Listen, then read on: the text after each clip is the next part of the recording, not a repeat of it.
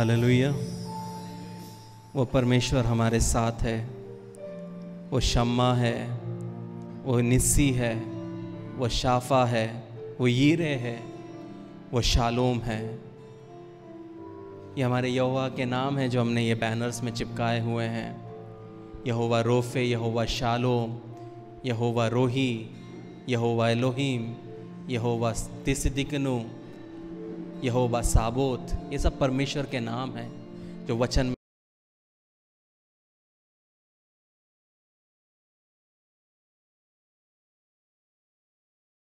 दोपहर को जस्ट मैं लेटा हुआ था, और जैसे मैं लेटा, परमेश्वर ने मुझे एक दर्शन दिखाया, और वह दर्शन सिर्फ़ चार से पाँच सेकंड का था।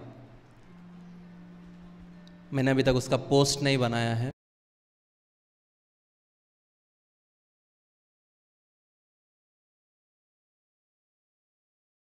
खड़ा हूँ और मेरे सामने से ईश मसीह चल के आ रहे हैं। और जब मैंने देखा तो मैं बहुत उत्साहित हुआ कि ईश मसीह मेरे सामने हैं। लेकिन देखते देखते ईश मसीह एकदम से ऐसे हुए। और जब मैंने ध्यान से देखा,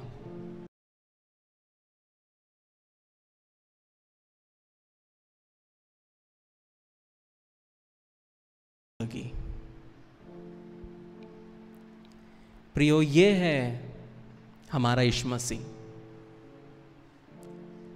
जो मौत हमको उठानी थी, वो मौत खुद सह लिया। जो दर्द हमको सहना था, वो दर्द उसने सह लिया।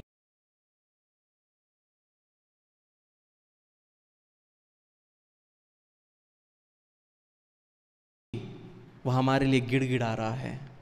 जब हम पाप करते हैं, जब हम पाप में खो जाते हैं, जब दुनिया में चलने लगते हैं, और परमेश्वर पाप को नहीं देख सकता, परमेश्वर बोलता है इनफ ठीक है, काफ़ी है, अब इसको और एक मौका नहीं मिलना चाहिए।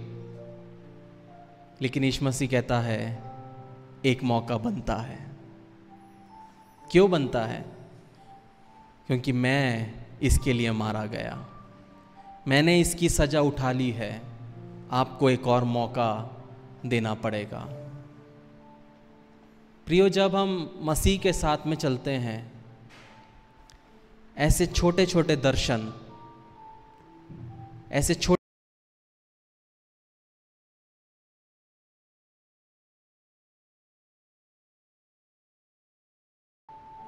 हमें बल देता है, हमें सामर्थ्य देता है कि हम एक अच्छे मसीही बन पाए। क्योंकि आज मैं यहाँ हूँ, क्योंकि ईश मसीह मेरे लिए मारा गया ईश मसीह मेरे लिए गाड़ा गया। आज मैं यहाँ हूँ और आप यहाँ हैं, जो तीर आपको लगनी थी, वो तीर ईश मसीह सह रहा है। ईश मसीह ले रहा है।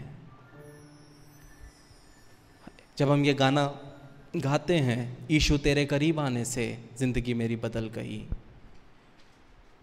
तब इस समझ के साथ गाएँ, ये याद के साथ गाएँ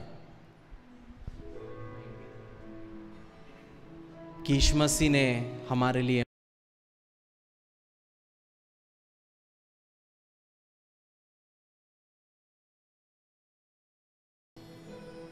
पर उस महसूस के साथ, दिल से। क्योंकि जब मैं आराधना करता हूँ तो मुझसे सिर्फ़ बोल होते नहीं हैं। सब लोग बोलते हैं, मैं स्लो गाता हूँ। और सही गा, बोलते हैं, मैं स्लो गाता हूँ। क्योंकि मैं वो फील के साथ गाता हूँ। मैं उसको महसूस करते हुए गाता हूँ। परफॉर्मेंस के लिए नहीं गा रहा हूँ। कि आपको अच्छा लगे, बहुत अच्छा गाने वाला है। पर जब आप एक एक बोल को दिल से गाते हैं, तब हम उस महसूस कर सकते हैं उसके प्रेम को, उसके सामर्थ्य को। जब पॉल और शीलास बंदी गृह में थे,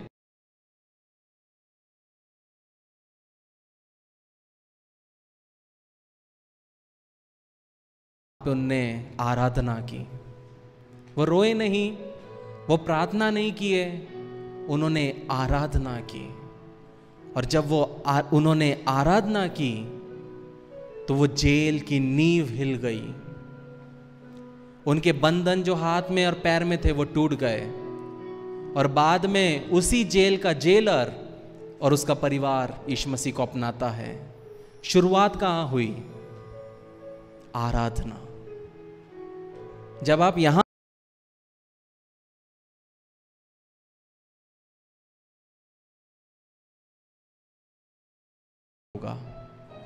जब आप यहाँ आराधना करोगे, तब आपके परिवार में एक छुटकारा होगा।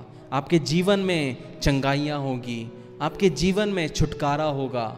ये मत सोचिए, मैं आपके लिए प्रेयर करूँगा तो ही आपको चंगाई मिलेगी। नहीं, मुझसे बढ़कर एक जन यहाँ है, उसका नाम है ईश मसीह।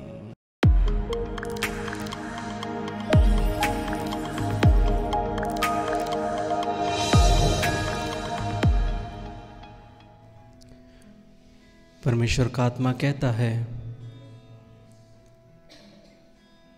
जिस तरह एक नए जन्मे शिशु को मीट नहीं दिया जाता, उसी तरीके से जब मैं तुम्हें छोटी छोटी बारीकियों को बताता हूँ तो उसे अपने जीवन में लागू करने की आवश्यकता है। अगर छोटे बच्चे को मीट खिलाया जाए, तब उसकी जान की हानि हो सकती है। वैसे ही समय के पहले अगर तुम वो करने की कोशिश करोगे, जो करने के लिए तुम तैयार नहीं हो तो तुम्हारे जीवन में सिर्फ़ हानि ही का काम होगा। याद रहे कि शैतान आता है चोरी करने और घात और हत्या करने, नष्ट करने। लेकिन मैं आता हूँ जीवन देने बहुतायत का जीवन देने। मैं चाहता हूँ कि तुम अपने जीवन में विजय बनो। मैं चाहता हूँ तुम अपने जीवन में बढ़ोतरी करो। मैं चाहता हूँ तुम अपने जीवन में आशीषित हो। लेकिन जब तक तुम मुझमें बने नहीं रहोगे, और जब तक जिस तरह एक छोटा बच्चा अपनी माँ पर निर्भर रहता है दूध के लिए, वैसे ही जब तक तुम मुझ पर निर्भर होके नहीं बढ़ोगे, तब तक मेरे कार्य को तुम अपने जीवन में देखने ना पाओगे। लेकिन याद रहे, जिस तरह एक शिशु के लिए माँ का दूध इंपॉर्टेंट है उसी तरीके से तुम्हारे लिए मेरा वचन इंपॉर्टेंट है। वो दूध के बजाय कुछ भी अगर दे तो वो बच्चा बीमार पड़ सकता है। वैसे ही मेरे वचन के अलावा कोई और किताब, कोई और व्यक्ति, कोई और आत्मा को अगर तुम अपने जीवन में कार्य करने दोगे तो वहाँ पे कभी भी तुम मेरे कार्य को देखने नहीं पाओगे। इसलिए मेरी संगति में बने रहते हुए, मेरी आवाज़ को सुनते हुए, मेरे वचनों पर चलते हुए, अगर तुम आगे बढ़ोगे तो मेरे कार्य को तुम अपने जीवन में देखने पाओगे। मेरे कार्य को अपने परिवार में देखने पाओगे। मेरे कार्य को तुम अपने बिज़नेस में देखने पाओगे। लेकिन जिस तरह कोई व्यक्ति, जिस तरह बीज बोने वाला, जब वो बीज बोने निकला और उसने कुछ बीज ज़मीन पे फेंके, कुछ पथरीले जगह पे गिरे, कुछ काटिले पे गिरे, पर जो अच्छी भूमि पे गिरे, वो बीज तीस गुना, साठ गुना फल लाए।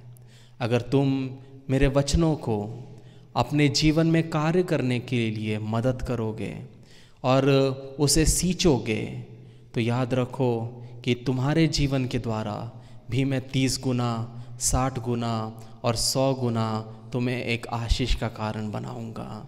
लेकिन अगर तुम उस पथरीली भूमि के नाए बनोगे या उस कांटे वाले परिस्थिति के नाए बनोगे, जहाँ पे मेरा वचन उग नहीं पाया, जहाँ पे मेरा वचन बढ़ नहीं पाया तो मैं तुम्हारे जीवन में बढ़ोतरी के बजाय घटी होने लगेगी। लेकिन तुम मुझे ब्लेम नहीं कर सकते, क्योंकि मेरा आत्मा तुम्हें सब चीज़ बता रहा है। मैं तुमसे अपने वचनों के द्वारा बात कर रहा हूँ। दिन प्रतिदिन, हफ़्ते भर हफ़्ता, तुम मेरे वचनों को और मेरी आवाज़ को सुन रहे हो, लेकिन फिर भी तुम नहीं सुधरोगे। तो याद रखो, जो कार्य जिस तरह मैंने शाउल से शुरुआत किया, लेकिन वो उसको ख़त्म नहीं कर पाया, और मैंने उसका कार्य जिस तरह दाऊद को दिया, उसी तरीके से मेरे पास लोगों की कमी नहीं है।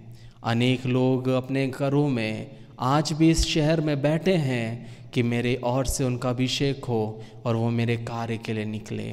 अगर तुम अपने अभिषेक को नहीं संभालोगे, अगर तुम अपने बुलाहट को नहीं बचाओगे और अगर तुम अपने बुलाहट के अनुसार अपने जीवन को नहीं बदलोगे तो मेरे कार्य को तुम अपने जीवन में कभी देखने नहीं पाओगे। याद रखो, हर एक शिशु समय के अनुसार वो बड़ा होता है धीरे धीरे वो नॉर्मल सॉफ्ट फ़ूड खाता है, फिर जब वो बड़ा होता है, तब वो हर एक चीज़ खा पाता है। उसी तरीके से हमेशा ज़िंदगी भर तुम्हें शिशु होने के लिए नहीं चुना है, बल्कि समय जिस तरह बीतते जाता है उस तरीके से मेरे वचन को सुनते हुए, अपने आप को परिपक्व करते हुए बढ़ने की आवश्यकता है। और जब तुम मेरे वचन के बताए हुए रास्ते पे चलोगे और जब तुम बढ़ोतरी करोगे, जब तुम और स्ट्रांग होते जाओगे, तब मेरे काम को और अपने जीवन में देखने पाओगे। याद रखो शाउल जो अभिषिक्त था, जिसके ऊपर में मेरा आत्मा था, लेकिन जब वो फ़िलिस्तीन के गोलायत को देखा तब वो डर गया।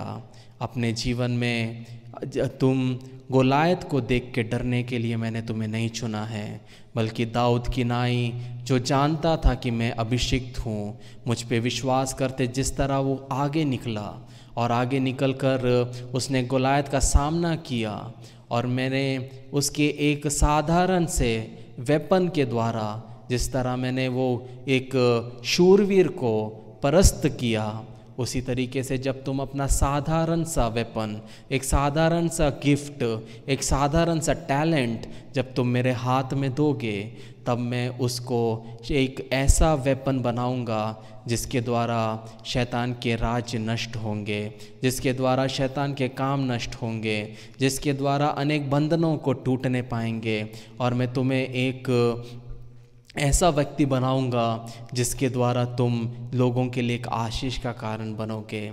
इसलिए आने वाले दिनों में अपने आप को तैयार करते हुए जो वचनों को सुना है, सुनने के बाद उसको भूलना, भूल, ना भूलते हुए, बल्कि उस वचनों के अनुसार चलते हुए, मनन करते हुए, पूरा हफ़्ता उसके बारे में सोचते हुए, विचार करते हुए बार बार उन वचनों को पढ़ते हुए, जब तुम उस बीज को, तुम बढ़ने के लिए अपने जीवन में अनुमति दोगे, तब वो, जो जिस तरह वो राई का पेड़ एक महान पेड़ बन गया, उसी तरीके से तुम्हारे जीवन में जो बीज बोया गया वो एक बड़ा पेड़ बन जाएगा और उस बड़े पेड़ के द्वारा अनेक लोगों को आशीष मिलेगी, अनेक लोग उसके द्वारा उनको छाँव मिलेगी।